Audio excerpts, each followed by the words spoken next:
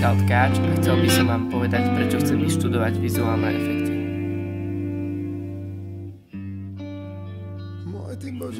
Už od detstva som miloval filmy, hlavne tie, v ktorých boli využívané špeciálne efekty.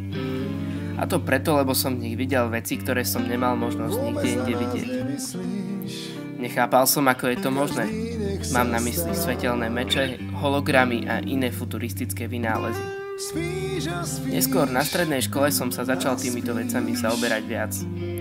Zapol som Photoshop, neskôr After Effects, nejaký tutoriál a skúšal som.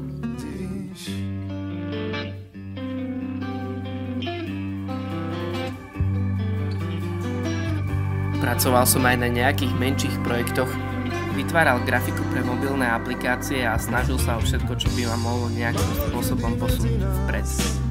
Pochopil som, že v digitálnom svete nie sú obmedzené hranice a dá sa tam vytvoriť takmer všetko. Takisto je obdivhodné, aké dôležité sú v tejto dobe vizuálne efekty pre film.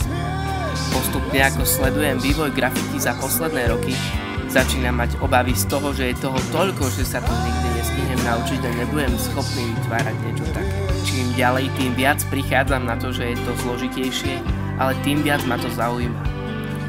Ale nastal môj maturitný ročník a začal som reálne uvažovať o svojej budúcnosti.